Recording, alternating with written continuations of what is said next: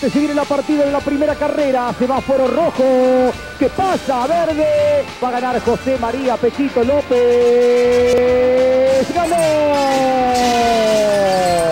La primera carrera del año ya tiene dueño en Termas de Rionda, en Santiago del Estero, en la Argentina. Ganó el campeón mundial. Ganó José María Pechito López. Grande pecho, felicitaciones campeón.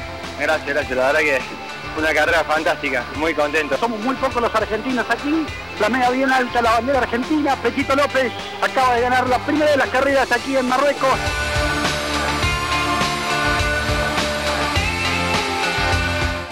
Te felicito, campeón del mundo, José María López. Bueno, gracias Carlos, para mí es un gusto verte de nuevo y bueno, espero, espero de corazón poder eh, darte la alegría del domingo, espero de corazón. Nuestro José María Pechito López que está transitando los últimos metros de carrera y va a consumar otra hazaña para Argentina.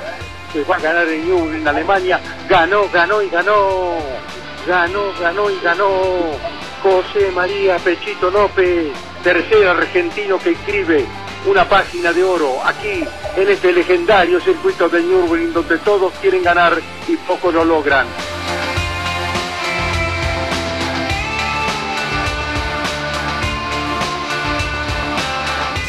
Ir mucho a la chapa. El argentino ha ganado aquí en Paul Ricard. Luego de tres carreras, vuelve a la victoria el campeón del mundo.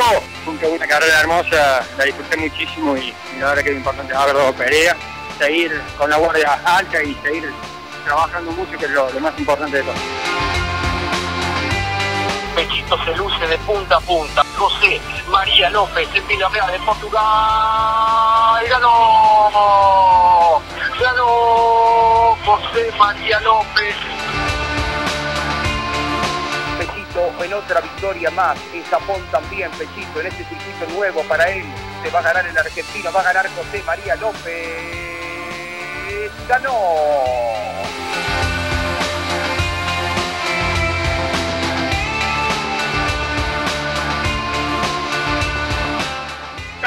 Y el mundo se rinde a sus pies. ¡Ganó!